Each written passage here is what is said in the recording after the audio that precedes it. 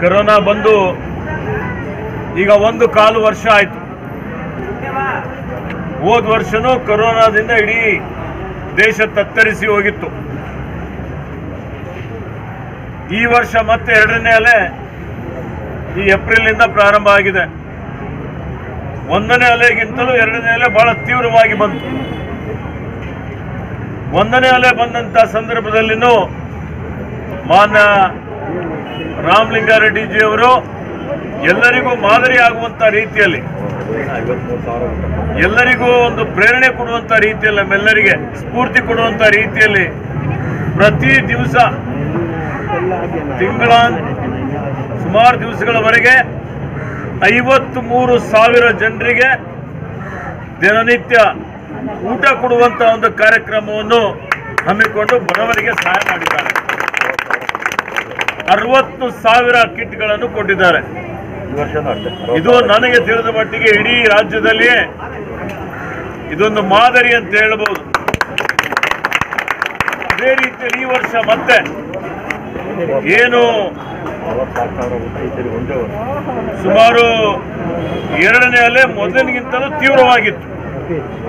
ರಾಜ್ಯ ಕೇಂದ್ರ ಸರ್ಕಾರದ ವೈಫಲ್ಯದಿಂದ ತಜ್ಞರು ವರದಿ ಕೊಟ್ಟರು ಪೂರ್ವ ಸಿದ್ಧತೆ ಮಾಡಿಕೊಳ್ಳದೆ ಇರೋದರಿಂದ ಈ ಸಲ ಏನಾಯ್ತಪ್ಪ ಅಂತ ಹೇಳಿದ್ರೆ ಜನ ಹಾದಿ ಬೀದಿಯಲ್ಲಿ ಸತ್ತೋಗ್ಬಿಟ್ರು ಬೆಡ್ ಸಿಕ್ಕಿಲ್ಲ, ಆಕ್ಸಿಜನ್ ಸಿಕ್ಕಿಲ್ಲ, ಆಂಬುಲೆನ್ಸ್ ಸಿಕ್ಕಿಲ್ಲ, ಸಮನ್ವಯತೆ ಇದ್ದಿಲ್ಲ.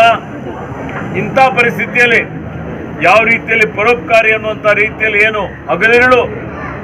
ರಾಮಲಿಂಗಾರೆಡ್ಡಿಯವರು ಅವರ ಸುಪುತ್ರಿಯಾದಂಥ ಸೌಮ್ಯಾರೆಡ್ಡಿಯವರು ಸೌಮ್ಯಾರೆಡ್ಡಿ ಅವರು, ಅವರವರ ಕ್ಷೇತ್ರದಲ್ಲಿ ಅಷ್ಟೇ ಅಲ್ಲ ಇಡೀ ಮಹಾನಗರ ಪಾಲಿಕೆಯಲ್ಲಿ ಎಲ್ಲೆಲ್ಲಿ ಸಮಸ್ಯೆ ಇದೆ, ನಮಗೂ ಕೆಲವೊಂದು ದೂರವಾಣಿ ಮುಖಾಂತರ ಬೆಡ್ ಸಿಕ್ಕಿಲ್ಲ ಅಂದ್ರೆ ನಾನು ರಾಮಲಿಂಗಾರೆಡ್ಡಿ ಅವರಿಗೆ ಫೋನ್ ಮಾಡಿದ್ದೆ. ಇಡೀ ಬೆಂಗಳೂರು ಮಹಾನಗರದಲ್ಲಿ ಎಲ್ಲೆಲ್ಲಿ ಜನರಿಗೆ ಕಷ್ಟ ಇದೆ, ಬೆಡ್ ಸಿಗ್ತಾ ಇಲ್ಲ ಆಕ್ಸಿಜನ್ ಸಿಗ್ತಾ ಇಲ್ಲ ಆಂಬ್ಯುಲೆನ್ಸ್ ವ್ಯವಸ್ಥೆ ಮಾಡುವಂಥದ್ದು ಆಕ್ಸಿಜನ್ ಕಾನ್ಸಂಟ್ರೇಟರ್ ಕೊಡುವಂಥದ್ದು, ಹೀಗೆ ಜನರೇನು ಸಂಕಷ್ಟದಲ್ಲಿದ್ದಂಥ ಸಂದರ್ಭದಲ್ಲಿ ಅವರು ಯಾವಾಗಲೂ ಸ್ಪಂದನೆ ಮಾಡ್ತಾನೆ ಬಂದಿದ್ದಾರೆ. ಮತ್ತು ಈಗಲೂ ಸ್ಪಂದನೆ ಮಾಡಿ ಮತ್ತು ಈ ಸಲ ಅವರ ಕ್ಷೇತ್ರದಲ್ಲಿ ಅವರ ಕ್ಷೇತ್ರದಲ್ಲಿ ಸಾವಿರಾರು ಜನರಿಗೆ ದಿನಾಲೂ ಊಟ ಕೊಡುವಂಥದ್ದು ಸುಮಾರು ನಲವತ್ತು ಸಾವಿರ ಕಿಟ್ಗಳು ಕೊಡುವಂಥ ಒಂದು ಕಾರ್ಯಕ್ರಮ ಏನವ್ರು ಈ ಸಲನು ಅರವತ್ತು. ಸಾವಿರ ಮೂವತ್ನಾಲ್ಕು ಸಾವಿರ ಊಟ ಕೊಡ್ತಾ ಇದ್ದಾರೆ ಕೊಟ್ಟಿದ್ದಾರೆ. ಅರವತ್ತು ಸಾವಿರ ಕಿಟ್ಗಳನ್ನು ಕೊಟ್ಟಿದ್ದಾರೆ. ಈ ಸಲ ಈಗ ಹೀಗಾಗಿ ಇದು ಒಂದು ಯೋಜನೆ ಹಾಕೊಂಡಿದ್ದಾರೆ. ಇದು ಒಂದು ಮಾದರಿನೇ ಆಗಿದೆ. ನಮ್ಮೆಲ್ಲರಿಗೆ ಪ್ರೇರಣೆ ಆಗಿದೆ. ಹೀಗಾಗಿ ಅವರೊಬ್ಬ ಅತ್ಯಂತ ಸರಳ ಜೀವಿ ಸಜ್ಜನ ವ್ಯಕ್ತಿ. ಯಾವುದೇ ಅವರಿಗೆ ಜವಾಬ್ದಾರಿ ಕೊಟ್ಟರು ಅತ್ಯಂತ ಸಮರ್ಥವಾಗಿ ನಿಭಾಯಿಸ್ತಾರೆ. ಗೃಹ ಮಂತ್ರಿಗಳಾಗಿ, ಮತ್ತೆ ಸಾರಿಗೆ ಮಂತ್ರಿಗಳಾಗಿ, ಇನ್ನಿತರ ಪಕ್ಷದಲ್ಲಿ ಅನೇಕ ಹುದ್ದೆಗಳನ್ನು ಅವರು ಅತ್ಯಂತ ದಕ್ಷತೆಯಿಂದ ನಿಭಾಯಿಸ್ತಾ ಇದ್ದಾರೆ. ಒಬ್ಬ ನಿಷ್ಠಾವಂತ ಕಾಂಗ್ರೆಸ್ ಮುಖಂಡರಾಗಿ ನಮ್ಮೆಲ್ಲರಿಗೆ ಆದರ್ಶರಾಗಿದ್ದಾರೆ.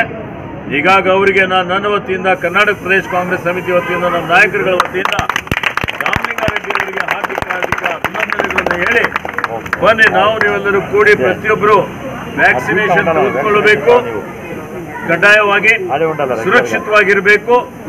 ನಾವು ಇವತ್ತು ಕೋವಿಡ್ನ ನ ಪ್ರೋಟೋಕಾಲ್ ಏನಿದೆ ಮಾಸ್ಕ್ ಹಾಕೊಳ್ಳುವಂಥದ್ದು ಸಾಮಾಜಿಕ ಅಂತರ ಕಾಪಾಡಿಕೊಳ್ಳುವಂಥದ್ದು ಸ್ವಚ್ಛ ಇರುವಂಥದ್ದು ಇವೆಲ್ಲವನ್ನು ಪಾ, ಪಾಲನೆ ಮಾಡಿ ಕೋವಿಡ್ ಅನ್ನು ಸೋಲ್ಸೋಣ, ಸುರಕ್ಷಿತವಾಗಿರೋಣ.